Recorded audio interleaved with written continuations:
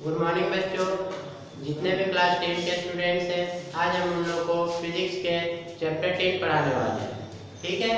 Chapter का नाम है प्रकाश, परावर्तन तथा अपवर्तन। इसमें होता है, सबसे पहले हम लोग प्रकाश के बारे में कुछ जान लेते हैं।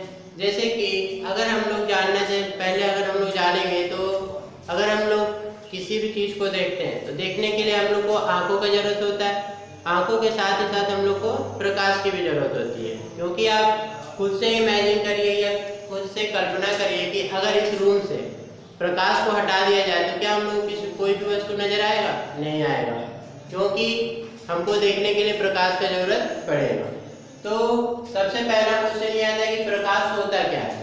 प्रकाश कुछ नहीं है, प्रकाश एक ऊर्जा का स्रोत है, जिसके द्वारा हम किसी भी वस्तु को देखते हैं। या फिर देखने में सक्षम हो पाते हैं। देखिए, हम आपके लिए लिख दिए कि प्रकाश एक ऊर्जा का स्रोत है, जिसके द्वारा हम किसी वस्तु को देखते हैं या देखने में सक्षम हो पाते हैं। ठीक है? और इसमें आपको एक बात का ध्यान रखना है कि प्रकाश सदैव सीधी रेखा पे चलती है। मतलब क्या?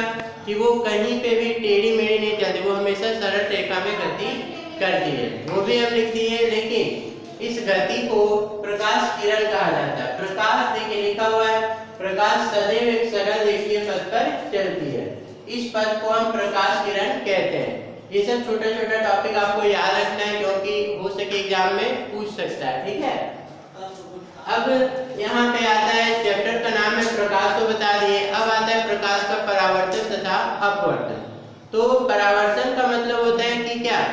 यहाँ पे देखिए लिखा हुआ कि अगर प्रकाश किरण किसी अपारदर्शी माध्यम से या चमकदार पृष्ठ से टकरा कर वापस लौटने की घटना को प्रकाश का परावर्तन कहलाता है। मतलब क्या कि अगर हम इस दीवार का ही बात करें तो क्या है? अपारदर्शी माध्यम है। अपारदर्शी मतलब क्या कि हमको इस पार से उस पार नज़र ना आए, ठीक है? या फिर ऐसा भी हो सकता है, चमकदार पृष्ठ मतलब कि आप अपने घर का ऐनक देख सकते हैं। या हम लोग जो स्टील का चम्मच होता है, उसको देख सकते हैं, वो क्या एक चमकदार पृष्ठ है? उसमें हम लोग को अपना फेस नज़र आ सकता है। उसी को हम लोग अपारदर्शी या फिर चमकदार पृष्ठ कहते हैं।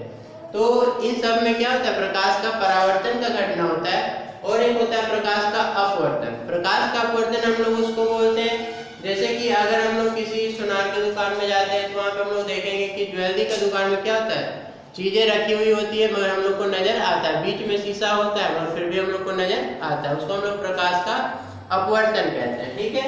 देखिए, यहाँ पे लिखा हुआ जब प्रकाश किसी पारदर्शी माध्यम, पारदर्शी मतलब होता है जिसके द्वारा हम ये पार से वो पार देख सकते हैं। दोनों माध्यम में नज़र आए तो जब प्रकाश किसी पारदर्शी माध्यम से टकराती है तो वो माध्यम में प्रवेश करते हुए दूसरे माध्यम में चले जाते हैं। इसको हम लोग प्रकाश का अपवर्तन कहते हैं। जैसे कि अगर स्वच्छ पानी में, मेरे यहाँ घर के गिलास में अगर कोई सिक्का डूब जाएगा तो हम लोग को नज़र आ जाता है। आता है कि नहीं आता? है तो वो सब क्या एक अपारदर्शी माध्यम होता है, ठीक है? और इसके आगे हम लोग आगे पढ़ेंगे